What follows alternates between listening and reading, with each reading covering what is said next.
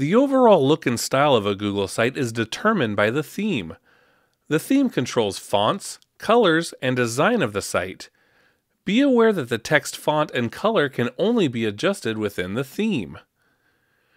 To adjust the theme, navigate to the Themes tab from the panel to the right. To change the site's theme, select an option from the list.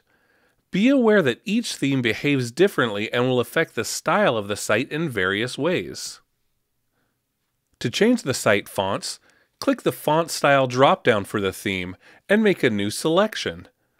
The theme font will apply to all text across the entire site. To change the site colors, click a color preset for the theme. To choose a custom color, click the paint bucket icon and make a selection. The site color applies to text as well as section backgrounds and other theme styles. To apply color to a page, such as the text or background color, hover over a section. Click the paint palette icon that appears to the far left and make a selection. The regular option is the default white background. Emphasis 1 is a gray background, and Emphasis 2 will utilize the site color that's set up for the theme.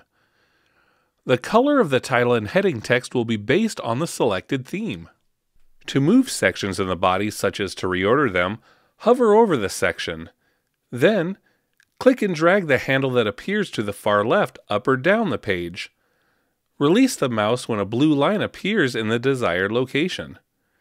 To duplicate a section, hover over the section and click the Duplicate Section icon. To delete a section, click the trash can icon. More information about Google Sites can be found in our other videos or by visiting the PLU Knowledge Base. If you need assistance, please feel free to reach out to Instructional Technologies.